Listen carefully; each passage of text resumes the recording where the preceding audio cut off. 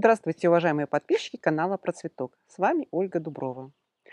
Сегодня я вам расскажу о формировании петунии. И, конечно, если мы будем формировать, будут образовываться излишние черенки, значит, как правильно зачеренковать петунию. Сколько бы ни было критиков петунии, кто-то просто устал от нее, кому-то она надоела, но все равно, рано или поздно, мы все равно возвращаемся к этой красавице, потому что невозможно пройти в садовом центре мимо пышных, ярких, невероятной окраски цветов, и невозможно смотреть где-то в каталогах эти невероятные картинки. Поэтому возвращаемся. И поэтому встает вопрос, когда мы ее уже худо-бедно вырастили, либо приобрели уже готовое растение, встает вопрос, как сделать, чтобы оно было таким же красивым, как это мы видим на картинках. Предварительно скажу, что для того, чтобы формировать, надо, чтобы было что формировать. Если мы не позаботимся заранее о почве, о правильном поливе, о регулярных и грамотных подкормках, то у нас, в принципе, и нечего будет формировать, не будет нужного старта. Если все у нас происходит хорошо, то есть почва у нас рыхлая, достаточно питательная, легкая, влагопроницаемая, воздухопроницаемая – если мы проводим подкормки, когда мы покупаем готовое растение, я, наверное, когда-то рассказывала, и оно подвергается интенсивным подкормкам для того, чтобы было такое продажное супер цветение и супер форма самого куста.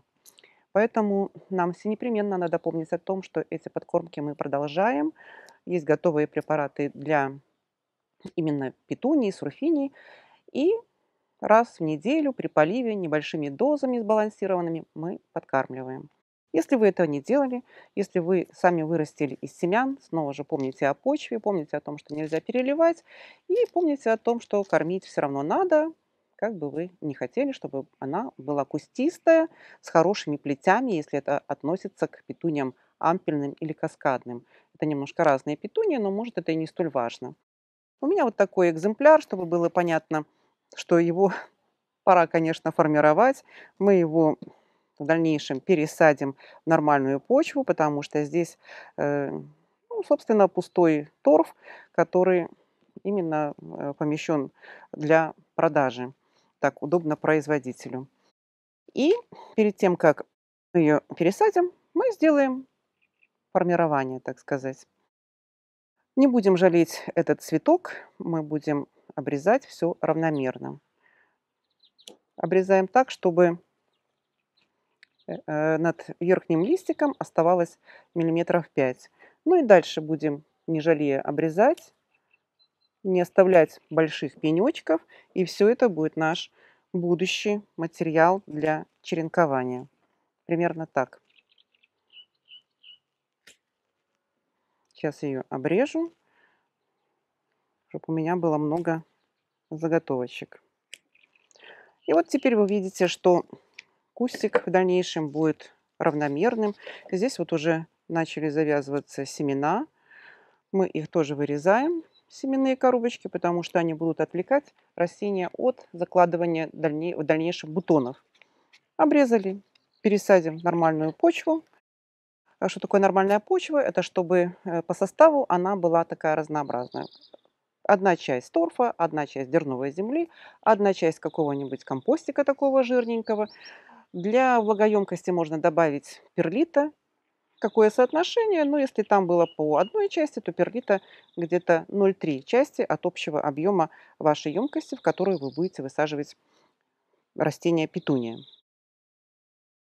То, что касается посаженных э, в грунте растений – как правило, их сажают э, сорта такие, которые э, низкорослые. Если даже они высокорослые, то они сами себе кустятся, и формировать, в принципе, я бы их там не формировала. Ну, естественно, если мы будем видеть, что происходит какое-то загущение во избежание э, присоединения во влажные периоды или в поздние летом, э, поздний период, когда ночи холодные и большая влажность, или ранний осенний период, когда снова же уже ночи холодные и много дождей, то тогда будет происходить заражение различными э, болезнями. Поэтому такую немножко прореживающую делаем обработку. Вырезаем, если нету такого свойства у выбранного вами сорта, если нету свойства самоочищения, как бы, то тогда мы обрезаем э, цветочки, прямо у основания. Вот, допустим, отцветает он, и я здесь его у основания обрежу. Нечего ему тут уже болтыхаться. Это такие общие принципы. Э, затем в течение сезона мы будем смотреть особенно за плетистыми, за каскадными и ампельными, потому что длинные плети иногда к середине лета выстреливают какой-то дикой веткой, которая не заканчивается цветочными почками. Конечно, такую ветку, такой побег мы обрежем наполовину. Если их много, значит равномерно обрезаем для того, чтобы происходило более пышное кущение и, естественно, более активное цветение на молодых побегах. Э, кустик будет формироваться тогда равномерно. И будут дополнительные побеги, которые будут заполнять пространство и в дальнейшем покроется весь красивыми цветами.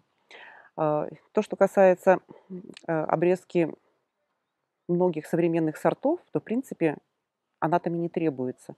Современные группы такие, петунии, например, патуния, крезитуния, а, хамелитуния, калибрахо. Калибрахо, ну, не совсем петуния, но все-таки она близкородственная. И мы все считаем, что это петуния такая миниатюрная, хорошенькая. Они сами сохраняют форму куста, они сами себя формируют, и для них характерно такое явление, как самоочищение. То есть цветочки не задерживаются на растении.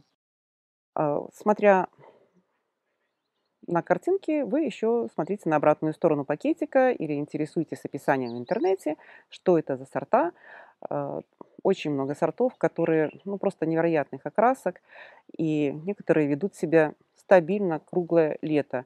Например, такие сорта, которые вообще не будут доставлять никаких хлопот. А, Easy Wave, а, сорт Opera Supreme, затем группа Афродита, серия Афродита с многочисленными окрасками. И просто невероятная петуния, которая называется Wave, и она относится к группе Фортунии. Кустик очень пышный, побеги компактные, междоузле сужи, сближенные, и никакой обрезки формирующей не требуется. Но когда черенковать теперь? Вот у нас появился материал, когда его черенковать. Да, в принципе, можно черенковать круглый год, потому что в зависимости от ваших условий. Естественно, что самое благоприятное время для черенкования– это лето. Хватает света, а, у растения идут активно все процессы. Это процессы, которые позволят нам без хлопот укорениться черенку к осени, конечно, укореняемость снижается, но если еще не наступили холода, это сентябрь месяц, э, молодых побегов еще достаточно много, в которых идут хорошие активные ростовые процессы, много сахаров, много гормонов. Это все будет способствовать укоренению. Ну, вы должны понимать, что те черенки, которые укоренятся у вас в середине лета, в начале осени – то, естественно, вам придется, их придется сохранять в помещении, потому что на улице они погибнут.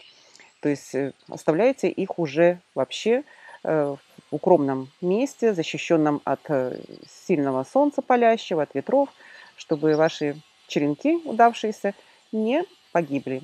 В зимний период, конечно, сложнее. У вас сохранились маточники, которые вы занесли в помещение и хранили их где-то при температуре ну, не ниже, чем плюс 2 градуса. Петуния хорошо переносит холода, вообще вот в открытом грунте хорошо переносит даже такие легкие понижения. Может быть, новые цветки не образовываются, но сама она чувствует себя замечательно и выглядит вполне декоративно. В феврале месяце вы начинаете их активно поливать, вы начинаете их подкармливать, снимаете черенки и вперед понеслось. И в марте уже с этой проблемой укоренения будет справиться гораздо легче. Света больше, тепла больше, и все происходит активнее и быстрее. Если мы черенкуем в зимний период, то на укоренение уходит, наверное, порядка э, 3-4 недель, а весенний и летний период это сократится ну, до двух недель. Поэтому очень здорово. Какие плюсы черенкования? Э, следующие. Во-первых, у вас уже красивая растеница получается практически через две недели с хорошей мощной корневой системой. Это вам не семечки, когда там эта ниточка непонятно, когда она сформируется. А, затем сокращается время до цветения. э, сорта петунии, какие какого бы срока они не были цветения, все равно должно пройти от 70 до 90 дней, а иногда даже и больше у старых сортов.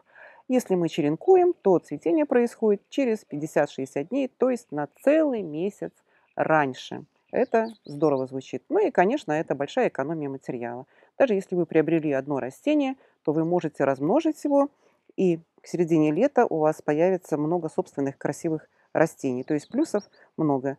Минусы, ну, минусы всегда можно искать, но мы их искать не будем. Будем останавливаться на положительных моментах.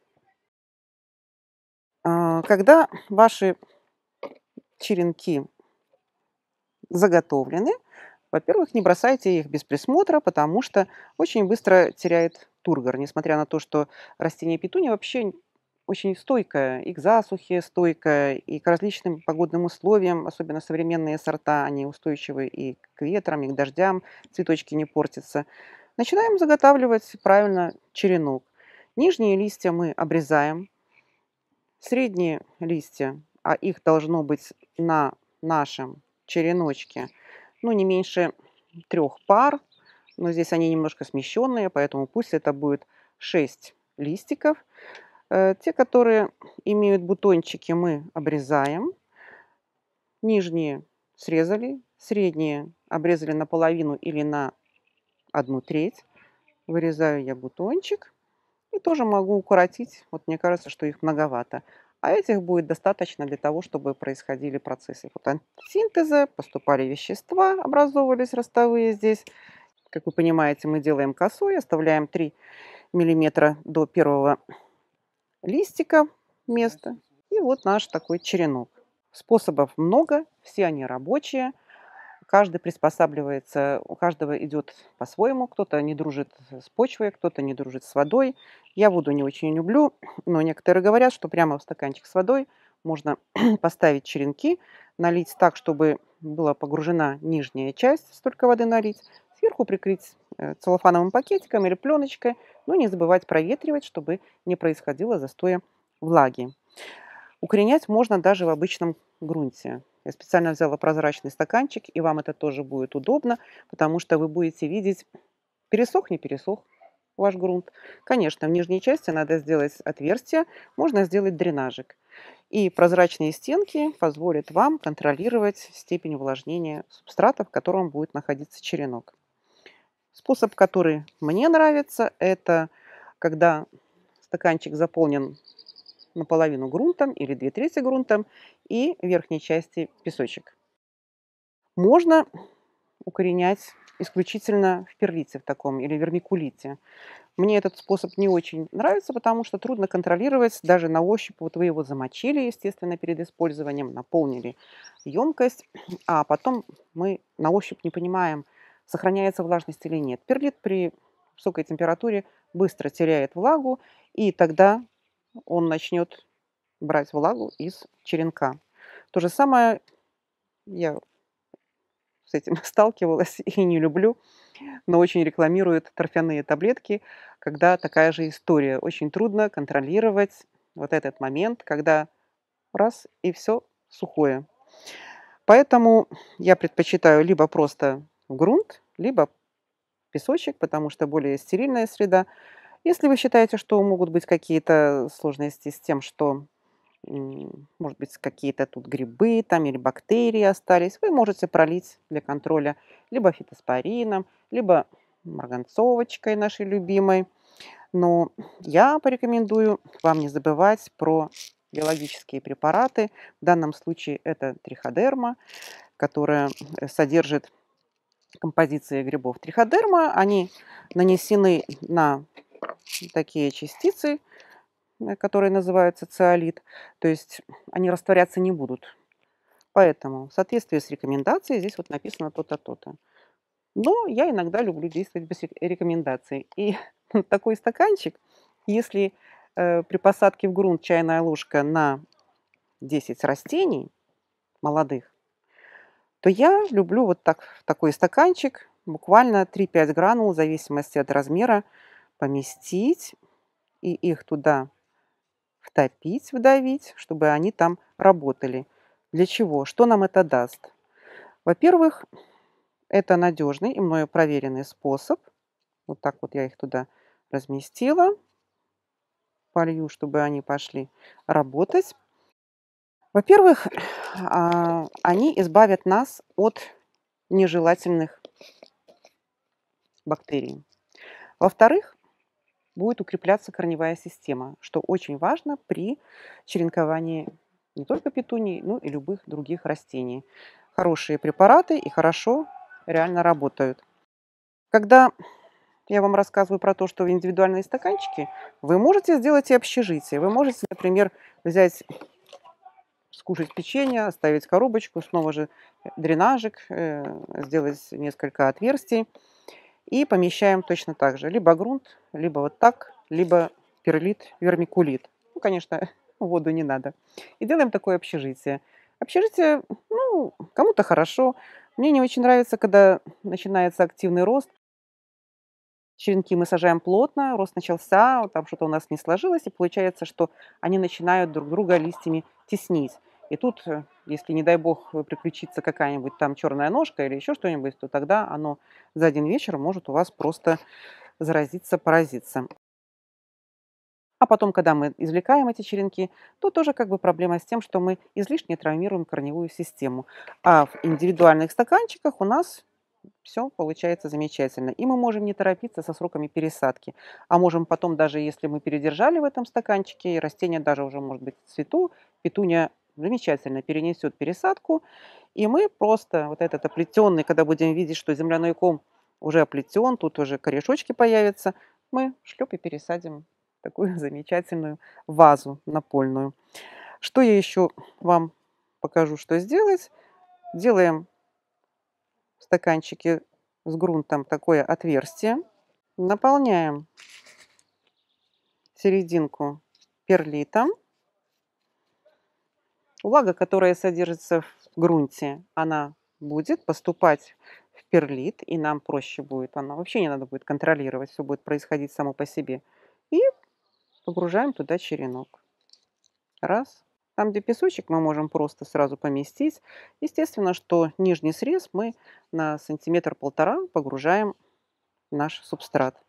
Ну и то же самое там, где перлит. Правда, плохо заходит. Сейчас мы сделаем отверстие. Уплотнился. И сажаем сюда. Если недостаточно пролито, мы проливаем, чтобы черенок обнимала влага. Ну, в принципе, мне кажется, я вас подготовила к черенкованию петуний. Спасибо за внимание. До новых встреч. thank you